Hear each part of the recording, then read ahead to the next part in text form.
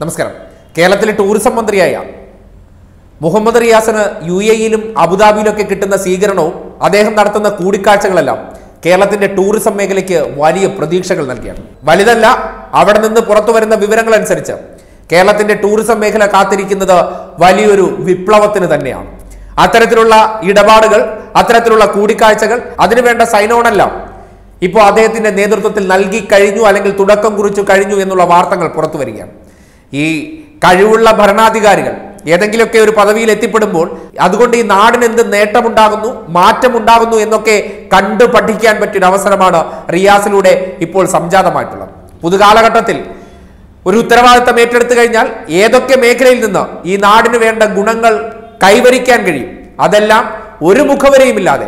അവിടെ മലയാളികളുടെ സാന്നിധ്യം കൊണ്ട് വളർന്ന ഒരു നാടിനെ അവരുടെ കൂടി സഹകരണത്തോടെ ഈ നാടിന്റെ ടൂറിസം മേഖലയെ ഉത്തേജിപ്പിക്കാൻ ശ്രമിക്കുമ്പോൾ അത് വരും കാലങ്ങളിൽ കേരളത്തിന് നൽകാൻ പോകുന്നത് ഒരു ശുഭ സൂചനയാണ് അതായത് ഈ നാട്ടിൽ ഇതുവരെ എക്സ്പ്ലോയിറ്റ് ചെയ്യാതിരുന്ന അല്ലെങ്കിൽ എക്സ്പ്ലോർഡ് ചെയ്യാതിരുന്ന ഒരു മേഖലയാണ് ടൂറിസം മേഖല എന്ന് പറയുന്നത്. കേരളം ദൈവത്തിന്റെ സ്വന്തം നാടെന്ന് പറയുകയും എന്നാൽ വളരെ കുറച്ച് ജില്ലകളിലെ ചില ഡെസ്റ്റിനേഷനുകളിൽ മാത്രം ഒതുങ്ങിപ്പോയിരുന്ന ആ ടൂറിസം അത് ഉറങ്ങിക്കിടന്ന ഒരു വിപ്ലവമാണെന്ന് റിയാസ് നമ്മുടെ മുന്നിൽ തുറന്നു കാട്ടുകയാണ്.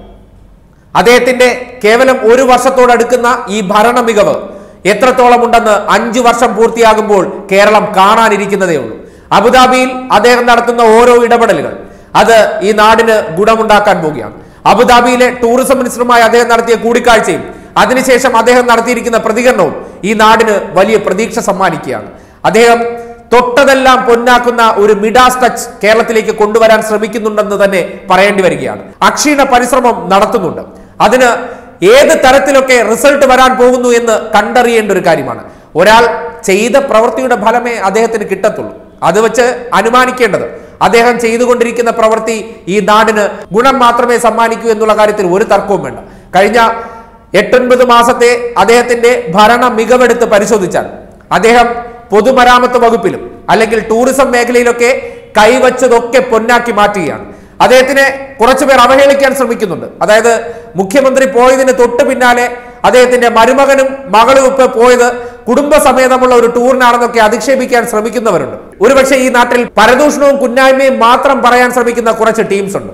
അവർക്ക് ഇതിന് മാത്രമേ നേരമുള്ളൂ. അതുകൊണ്ട് അവരുടെ നാവുകളെ മൈൻഡ് ചെയ്യേണ്ട കാര്യമേ ഇല്ല. അദ്ദേഹം അവിടെ പോയി ചെയ്യുന്ന പ്രവർത്തനങ്ങൾ അദ്ദേഹത്തിന് ഓരോ മേഖലയിൽ നിന്ന് ലഭിക്കുന്ന സ്വീകാര്യത അതെല്ലാം മലയാളികളെ ഏത് തരത്തിലാണോ ഒരു രാജ്യം സ്വീകരിക്കുന്നു എന്നതിന്റെ ഒരു നേർ അടയാളപ്പെടുത്തലാണ്. അദ്ദേഹത്തിനോടൊപ്പം യൂസുഫ് അലിയെ പോലുള്ള പ്രമുഖ വ്യവസായികൾ ഒപ്പം ചേർന്ന് എല്ലാവിധ സഹായങ്ങളും നൽകി എല്ലാവിധ കൂടിക്കാഴ്ചകൾക്കും ചുക്കാൻ പിടിക്കുന്നതോടുകൂടി കേരളത്തിന്റെ ടൂറിസം മേഖലയെ ഉത്തേജിപ്പിക്കുക എന്ന ചിരകാല സ്വപ്നം വീണ്ടും സ്വപ്നം വിടരുകയാണ്. അബുദാബി ടൂറിസം മന്ത്രി നൽകിയ ഉറപ്പിന്റെ അടിസ്ഥാനത്തിൽ അദ്ദേഹം സോഷ്യൽ മീഡിയയിൽ കുറിച്ച ഒന്ന് രണ്ട് വാചകങ്ങളുണ്ട്. അത് കേരളത്തിന്റെ ടൂറിസം മേഖലയുമായി സഹകരിച്ച് പ്രവർത്തിക്കാൻ തയ്യാറാണെന്നും അവിടുന്ന് കൂടുതൽ ടൂറിസ്റ്റുകളെ കേരളത്തിലേക്ക് അയക്കാൻ വേണ്ടിയുള്ള സജ്ജീകരണങ്ങൾ ഒരുക്കുമെന്നും അബുദാബിയിൽ നിന്നുള്ള ഭരണകൂടം കേരളത്തിലെ ടൂറിസം മന്ത്രിക്ക് ഉറപ്പ് നൽകിയിരിക്കുകയാണ്. ആ ധാരണാപത്രം ഒപ്പുവെക്കുന്നതോടുകൂടി അത്തരത്തിലൊരു സംരംഭം യാഥാർത്ഥ്യമായാൽ കേരളത്തിലേക്ക് സഞ്ചാരികളുടെ ഒഴുക്കാണ് വരാൻ പോകുന്ന കാലത്ത് ഉണ്ടാകാൻ പോകുന്നത്. അതിന്റെ നേട്ടം ആർക്കാണ്? അദ്ദേഹം നേരത്തെ പറഞ്ഞു വെച്ചതുപോലെ ഇവിടെ എല്ലാ പഞ്ചായത്തുകളും കേന്ദ്രീകരിച്ച് ഇതുവരെ ശ്രദ്ധിക്കപ്പെടാതെ കിടന്ന പല ഡെസ്റ്റിനേഷനുകളെയും ടൂറിസം സ്പോട്ടുകളാക്കി മാറ്റി. സഞ്ചാരികളെ വിസ്മയിപ്പിക്കാൻ വേണ്ടി കേരളം തയ്യാറെടുത്തിരിക്കുകയാണ്. അതിലൂടെ കേരളത്തിൽ ഒരുപാട് പേർക്ക് ഡയറക്റ്റായും ഇൻഡയറക്റ്റായും തൊഴിൽ ലഭിക്കാൻ പോവുകയാണ്. അത് കേരളത്തിന്റെ വരും കാലങ്ങളിലെ കാമധേനുവായി ടൂറിസം മേഖല മാറാൻ പോകുന്നു എന്ന് പറഞ്ഞാൽ ഒരു സംശയവും വേണ്ട. അതിനുവേണ്ടിയുള്ള ഇടപെടലുകളെല്ലാം അദ്ദേഹം നടത്തി വരുന്നുണ്ട്. അത് കണ്ടു ബോധിക്കുന്നതുമാണ്. ഇപ്പോ അധിക്ഷേപിക്കുന്നവരോ അല്ലെങ്കിൽ മരുമോണെന്ന് പറഞ്ഞ് വിമർശിക്കുന്നവർക്കൊക്കെ അത് ഇനിയും തുടരാം. പക്ഷേ കേരളത്തിന്റെ അനുഭവ പശ്ചാത്തലത്തിലേക്ക് കാര്യങ്ങൾ വരുമ്പോൾ അദ്ദേഹം ചെയ്ത പ്രവർത്തികൾ അദ്ദേഹം നടത്തിയിട്ടുള്ള ഇടപെടലുകൾ അത് എന്തൊക്കെ നേട്ടങ്ങൾ ഈ സംസ്ഥാനത്ത് കൊണ്ടുവന്നാലും അതിന്റെ ഒരു പങ്കിന് അർഹത റിയാസിന് തന്നെയാണ്. അത് ജനം തിരിച്ചറിയും അത് ചെയ്യാൻ വേണ്ടി അദ്ദേഹം നടത്തിയ ആ ഇടപെടലുകളെ ജനം അംഗീകരിക്കും. അതാണ് ഒരു ജനപ്രതിനിധിക്ക് ഈ നാടിനോട് ചെയ്യാൻ പറ്റുന്ന ഏറ്റവും നല്ല പ്രവർത്തനം.